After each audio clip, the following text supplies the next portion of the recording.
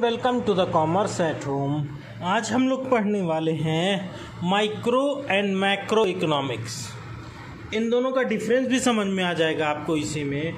Micro और macro की meaning पढ़ते पढ़ते ठीक है? चलिए देखते हैं। हिंदी में बोलते हैं इसको बेटा व्यष्टि और समष्टि। माइक्रो को व्यष्टि और मैक्रो को समष्टि बोलते हैं। ठीक है? तो चलिए देखते हैं माइक्रो इकोनॉमिक्स वेस्टी अर्थशास्त्र क्या होता है।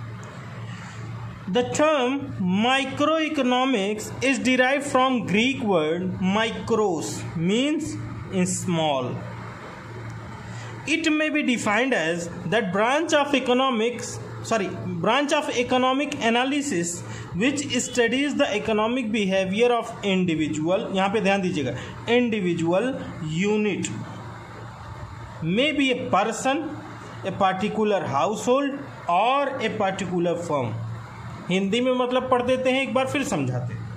सूक्ष्म अर्थशास्त्र ग्रीक शब्द माइक्रो से लिया गया।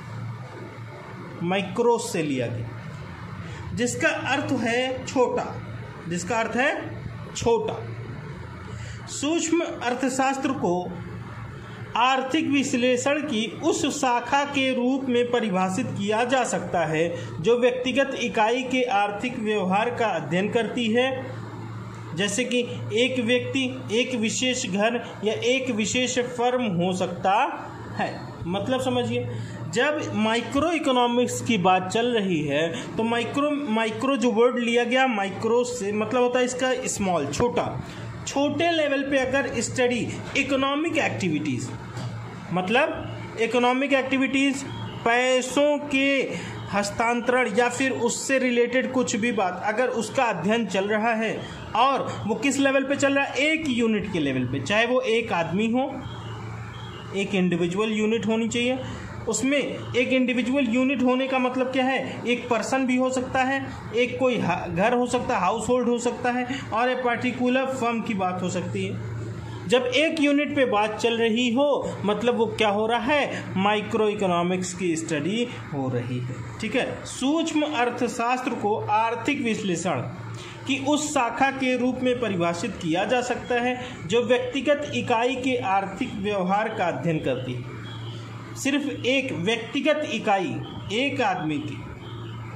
आर्थिक व्यवहार, पैसों का लेन देन उसकी स्टडी करती हो, उसको क्या बोलते हैं? माइक्रो इकोनॉमिक्स ठीक है? अब आते हैं मैक्रो, व्यष्टि नहीं, समष्टि अर्थशास्त्र पे। चलिए देखते हैं समष्टि अर्थशास्त्र क्या होता है। मैक्रो इकोनॉमिक्स ठीक है? The term micro is derive from Greek word macros.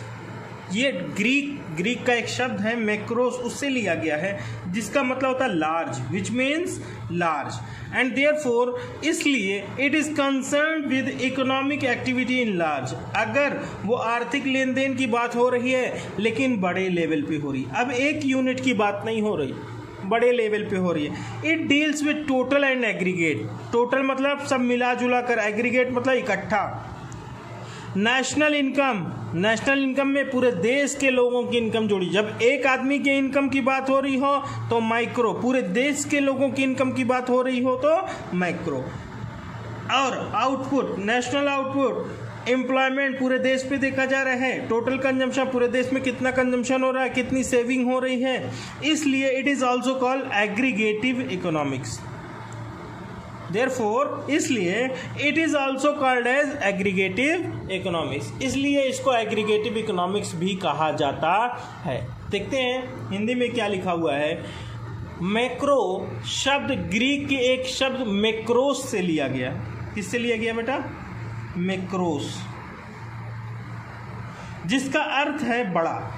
जिसका मतलब होता है बड़ा। इसलिए मैक्रो मैक्रो अर्थशास्त्र के बड़े पैमाने पर आर्थिक गतिविधियों से संबंधित है। आर्थिक गतिविधि होनी चाहिए, लेकिन बड़े पैमाने पर।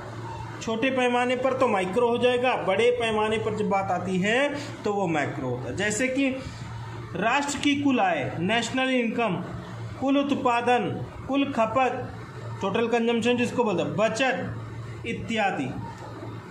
से संबंधित अगर है तो इसको हम क्या कहेंगे? मैक्रो इकोनॉमिक्स इसको दूसरे नाम से एग्रीगेटिव इकोनॉमिक्स भी कहा जाता।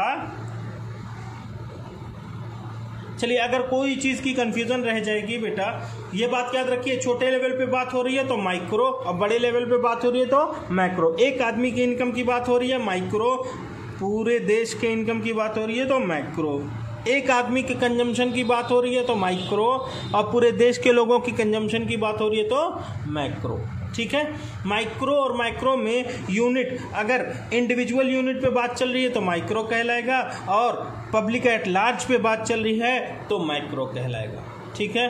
चलिए, ध्यान रखिएगा और आपको वीडियोस पसंद आती हैं तो लाइक शेयर और सब्सक्राइब करिए, दूसरों तक शेयर करिए ताकि वो भी आपकी तरह पढ़ाई कर सके। गुड लक कोई क्वेरी हो तो कमेंट बॉक्स में लिखिए या मेरा व्हाट्सएप नंबर यूज़ कर सकते हैं। मेरा व्हाट्सएप नंबर है eight nine five seven nine zero eight nine five seven आप इस पर हमको टेक्स्ट करिए व्हाट्सएप करिए।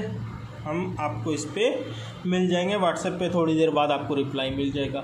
नहीं मिल पाए तो शाम को तो पक्का मिल जाएगा क्योंकि शाम को कोशिश करिए आठ बजे से दस बजे के बीच में हमसे क्वेरी पूछने की तो आपको प्रॉपर क्वेरी मिल पाएगी। आठ से दस के बीच।